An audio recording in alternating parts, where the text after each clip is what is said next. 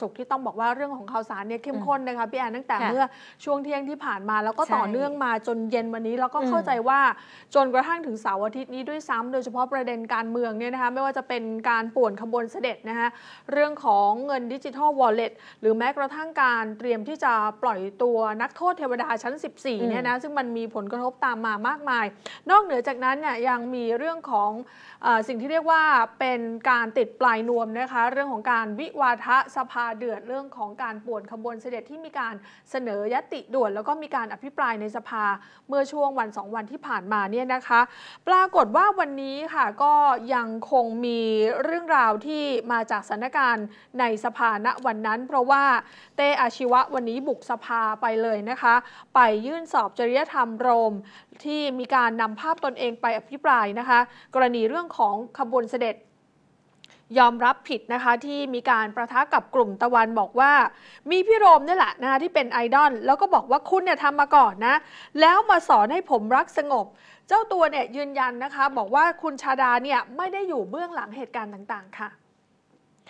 วันนี้ที่รัฐสภานะคะภาคีกลุ่มราชพักซึ่งนำโดย นายอัครวุฒิไกลศรีสมบัติ หรือว่าเต้อาชีวะ พร้อมสมาชิกกว่า 10 คนก็ยื่นหนังสือต่อนายวันมูฮัมหมัดนอมัทาประธานสภาผู้แทนราษฎร เพื่อจะเรียกร้องให้มีการเอาผิด และสอบจริยธรรมนายรังสิมันโรมพักก้าวไกล กรณีละเมิดข้อบังคับสภาหรือไม่ ในการนำภาพของกลุ่มตนเนี่ยนะคะขึ้นอภิปรายในยติด่วน มาตรการอารักขาขบวนเสด็จเมื่อวันที่ 14 กุมภาพันธ์ที่ผ่านมา เต้อาชีวะบอกอย่างนี้ค่ะ บอกว่าตนเนี่ยขอบคุณมากที่เอารูปแล้ว แล้วก็กิจกรรมของตนเนี่ยมาพูดในสภา แต่ว่างานของคนรักสถาบันนั้นก็ไม่ควรจะไปเกี่ยวกับเรื่องของการเมือง กิจกรรมที่ตนทำแล้วก็มีภาพนายชาดา รัฐมนตรีช่วยมหาดไทยนายชาดาเนี่ยไม่ได้ไปในฐานะรัฐมนตรีหรือว่าสส แต่ว่าเขาไปในนามของนายชาดา ไปปั่นจักรยาน คนที่บอกว่าตนชอบใช้ความรุนแรง รู้หรือไม่ว่ามีใครเป็นไอดอลนะคะจากนั้นเนี่ยเต้อาชีวะก็เปิดภาพในรังสิมันโรมสมัยเป็นนักศึกษา เป็นรูปที่เจ้าตัวนั้นประทะกับเจ้าหน้าที่ตำรวจ รวมถึงภาพสสพักเก้าไกลที่ไปอยู่กับกลุ่มนักเคลื่อนไหว รวมถึงภาพของนายพิธาที่มีการ ถ่ายภาพคู่กับนางสาวทานตะวัน แล้วก็กลุ่มทะลุวัง พร้อมกับบอกว่าตนเนี่ยมีไอดอลเป็นนายรังสิมัน เพราะเขาเนี่ยเคยต่อยตำรวจต่อหน้าสาธารณชน แล้วก็สื่อมวลชนมาก่อน สิ่งที่คุณทำมาก่อน แต่คุณเนี่ยจะมาสอนให้ผมเป็นคนที่รักสงบ คนที่อยู่เบื้องหลังม็อบขบวนการทั้งหลาย เขาบอกว่าไม่มีขบวนการ คุณไปนั่งอยู่ในนี้ได้อย่างไร ข้อความที่ตนโพสต์ วันที่ 8 กุมภาพันธ์ ระบุว่าที่จะไปประทะกับกลุ่มทะลุวัง ยอมรับว่าเป็นภาพจริง ตนยอมรับว่าตนผิด แต่ถ้าดูคลิปดีๆเนี่ยนะ ตนเป็นคนไปห้ามนะ เหตุการณ์ครั้งนั้นเนี่ย แต่ว่านายรังสิมันกลับเอาภาพของตนมาแขวนในสภา แล้วบอกว่าชอบใช้ความรุนแรง เต้อาชีวะกล่าวยืนยันบอกว่า นายชาดาไม่ได้เป็นผู้อยู่เบื้องหลัง ถ้านายชาดาอยู่เบื้องหลัง แล้วภาพที่ตนนำนำมาวันนี้คืออะไร นั่งคุยกับใคร แล้วก็ไปให้รางวัลใครเต้อาชีวะย้ำนะคะ บอกว่ากลุ่มของทานตะวันเนี่ยคุกคามชมขบวนเสด็จ แล้วก็ยติที่ผ่านมาคือการทำอย่างไรก็ได้ ให้การแก้ไขปัญหาการคุกคามขบวนเสด็จนะคะแต่ว่านายรังสิมันเนี่ยกลับไปเอาบุคคลที่ 3 ขึ้นมาแขวนอยู่บนสภา คุณคาดหน้าผมใช่ แต่คนเนี่ยเขารู้กันหมดว่าเป็นใคร แต่ไม่ยอมคาดหน้าพี่ชาดา บอกว่าเป็นนักการเมืองที่หนุนหลังผม เดี๋ยวจะไปถ่ายรูปกับรังสิมันโรม ผมเป็น FC เขาอยู่ ดูซิว่านะเขาจะสนับสนุนผมหรือไม่ ผมผิดตรงไหนที่จะถ่ายรูปกับคนที่มีชื่อเสียง ผมจะบอกให้นะ กิจกรรมการทำความดีของผม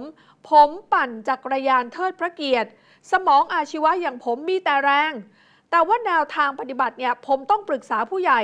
ทำให้เกิดภาพแห่งความจงรักภักดีออกมาสวยงาม เมื่อวันที่ 5 ที่ผ่านมานะแต่ว่าคุณเนี่ยกลับเอารูปไปตัดแปะข้อความแล้วก็ทำให้ผมเสียหาย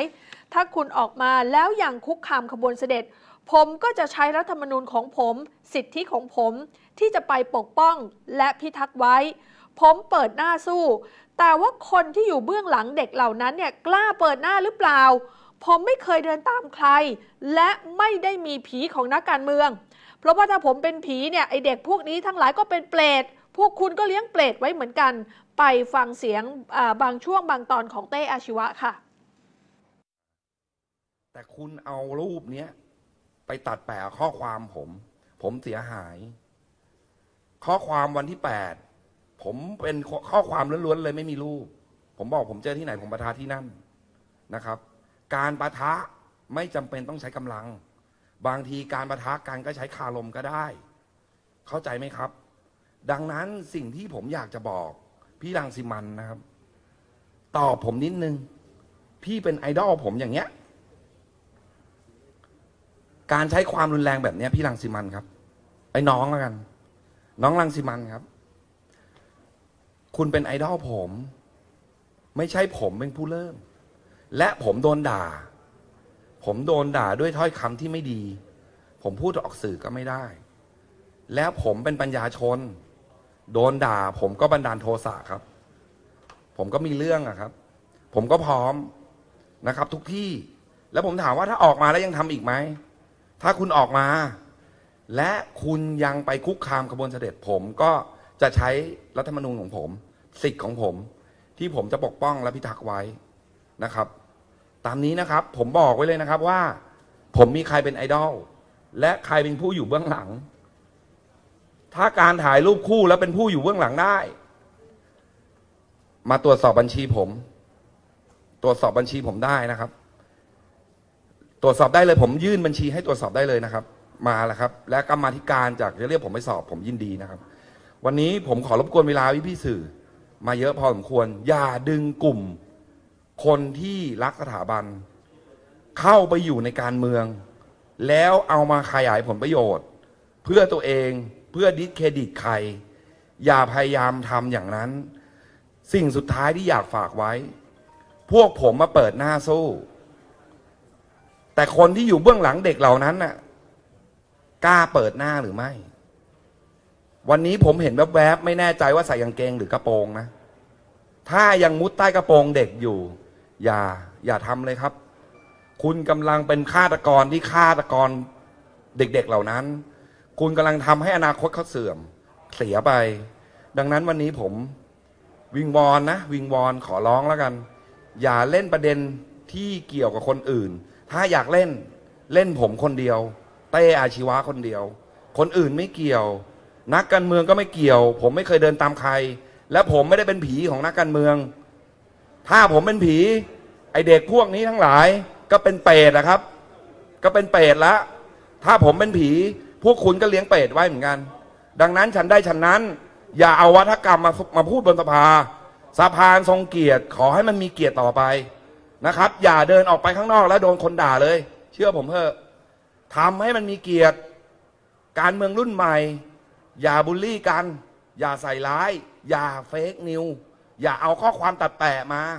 ไม่เอาแม่งไม่เฟี้ยวนะครับ วันนี้ขอบคุณสื่อมากครับ ถ้อยคำแต่ละคำที่เลือกใช้นี่คือแบบว่าเต้อาชีวะจริง ๆ นะคะ แล้วก็ต้องบอกว่าเป็นมวยที่ถูกคู่จริง ๆ ผู้สื่อข่าวก็เลยถามอีกนะคะ ว่าจะมีการตรวจสอบผู้ช่วยสสที่หนุนม็อบด้วยหรือไม่เต้อาชีวะก็เลยบอกนะคะว่าต้องดูว่ามีเรื่องที่มันคาบเกี่ยวกันหรือไม่นะคะ เพราะว่าคนอภิปรายเนี่ยก็คือนายรังสิมัน จะต้องเป็นคนรับผิดชอบเบื้องต้นก่อน แค่ขอโทษประชาชนว่าเอาเฟกซ์นิวออกมา ว่าไปเอาข้อความตัดแปะออกมาพูดถามแค่นี้ความรับผิดชอบควรจะมีแน่นอนนะคะ เต้อาชีวะออกมา เรียกว่าเปิดหน้าชนขนาดนี้นะคะ พี่โรมหรือมีจะยอมนะคะ ออกมาแลกหมัดเต้อาชีวะทันทีนะคะ เจ้าตัวตอบโต้เดือดนะคะบอกว่าไอ้ภาพที่บู๊กับตำรวจ เมื่อปี 57 ที่เคยไฟกันเนี่ยนะคะเป็นแค่การป้องกันตัวนะคะไปดูการออกมาแลกหมัดของนายรังสิมันโรม สสบัญชีรายชื่อจากก้าวไกลนะคะพูดถึงกลุ่มภาคี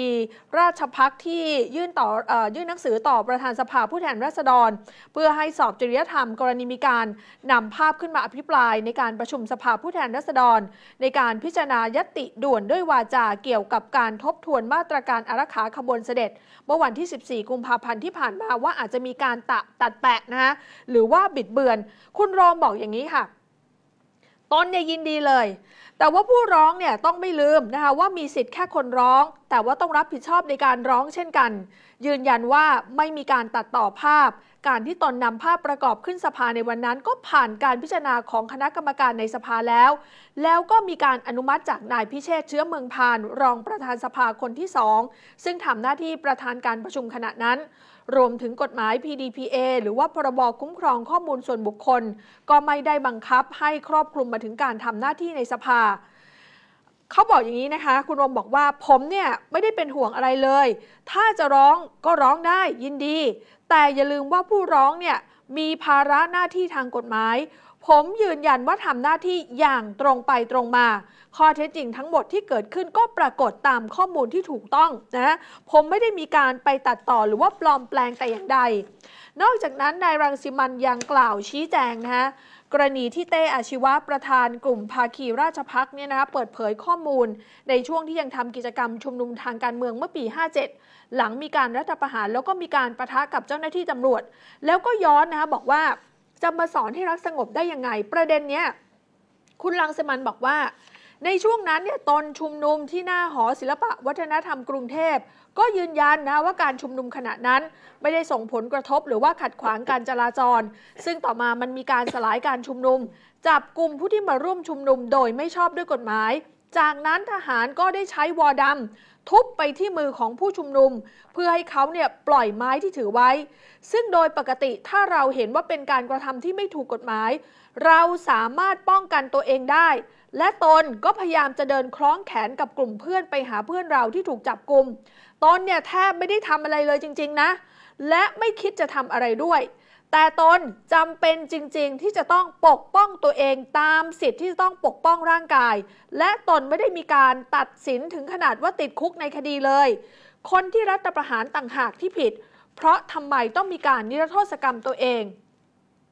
ผู้สื่อข่าวก็เลยถามว่ากลุ่มของเต้อาชีวะเนี่ยเขามีการเปิดรูปนะคะที่เป็นการถ่ายร่วมกับแกนนำกลุ่มทะลุวังนะคะอย่างเช่นนางสาวทานตะวันตัวตุลานนท์ตรงนี้อาจจะถูกมองว่าเป็นการอยู่เบื้องหลังหรือไม่ ในรังสิมันก็เลยบอกว่า ในขณะนั้นตนอยู่ในคณะกรรมการการกฎหมายและการยุติธรรม และสิทธิมนุษยชนสภา ถ้ากมทไม่ลงพื้นที่ไปติดตามข้อมูล เราจะทำหน้าที่ปกป้องสิทธิมนุษยชนได้อย่างไร ยืนยันว่าการทำหน้าที่โดยไม่จำเป็นต้องรอคำสั่งใด ๆ หากมีประเด็นอะไร ตนก็สามารถนำเข้าที่ประชุมกมทได้ ต่อให้ตนไปร่วมชุมนุม มันก็ไม่ได้หมายความว่าตนเนี่ยเป็นท่อน้ำเลี้ยง ไม่ได้หมายความว่าม็อบเนี้ยจะเกิดขึ้นได้เพราะตน เท่าที่ทราบกลุ่มผู้ชุมนุมดังกล่าว ไม่เคยได้รับสิทธิพิเศษทางกฎหมายใด ๆ ทุกวันนี้นิสิตนักศึกษาที่ออกมาชุมนุมยังต่อสู้คดีอยู่เลย คุณรอมบอกว่ายืนยันว่าไม่ได้เป็นเบื้องหลังแน่นอน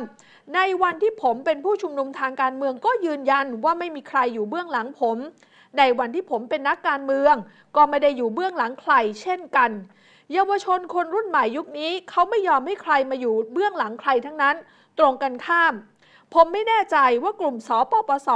ที่ไปทำร้ายร่างกายประชาชนใจกลางเมืองหลวงเนี่ยผมไม่แน่ใจว่ามีการแจ้งข้อกล่าวหา หรือว่าการดำเนินคดีใด ๆ ไปแล้วบ้าง ผมไม่ทราบจริง ๆ นอกเหนือจากนั้นเนี่ยนะคะ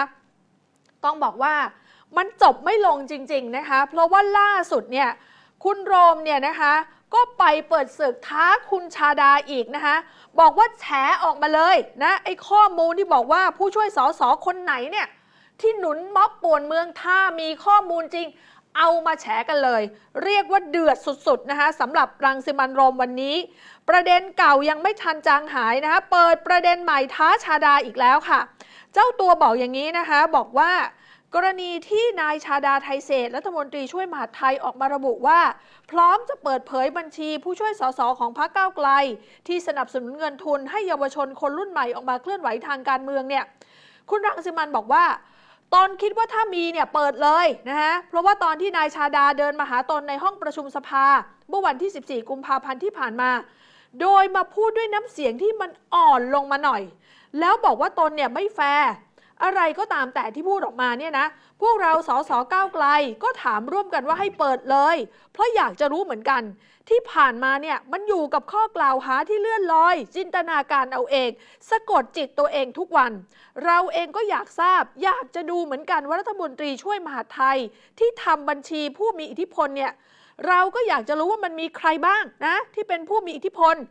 ในเมื่อมีข้อมูลที่ไม่ถูกต้องเนี่ย ก็เปิดเผยมาเลยนะ จะได้ใช้กลไกทางกฎหมายในการแก้ไขปัญหา คุณรอมบอกว่า ผมอยากจะรู้ว่าบัญชีผู้มีอิทธิพล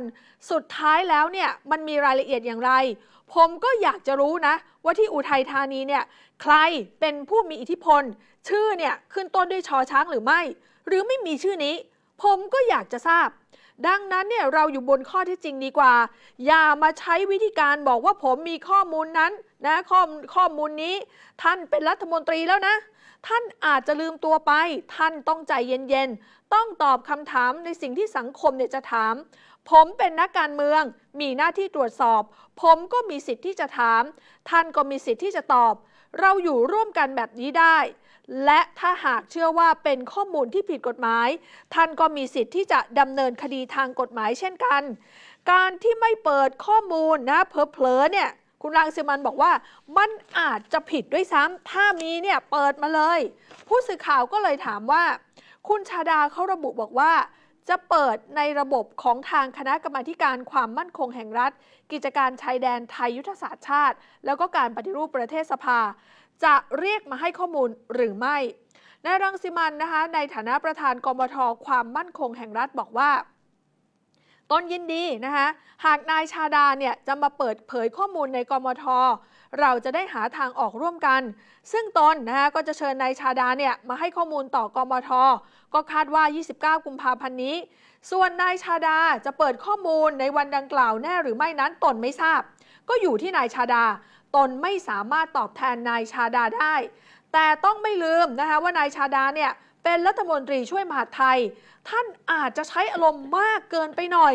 จริงๆ เนี่ยนะคะใช้เวทีสภานำเสนอแนวทางการปรับปรุงมาตรการอารักขาขบวนเสด็จให้มันปลอดภัยมากขึ้น เนื่องจากผู้เสนอยติในวันนั้นเนี่ยก็ยังพูดไม่ชัดเจนนะคะว่าจะต้องมีการปรับมาตรการอย่างไร มีเพียงการสะท้อนปัญหาที่เกิดขึ้นเท่านั้นค่ะโอ้โหเรียกว่า วันนี้เนี่ยระเบิดลงหลายลูกทีเดียวคิดว่าเดี๋ยวช่วงค่ำๆนะคะถ้าผู้สื่อข่าวไปสัมภาษณ์คุณชาดาคุณชาดาน่าจะไม่ปล่อยวางแน่ๆค่ะสำหรับประเด็นนี้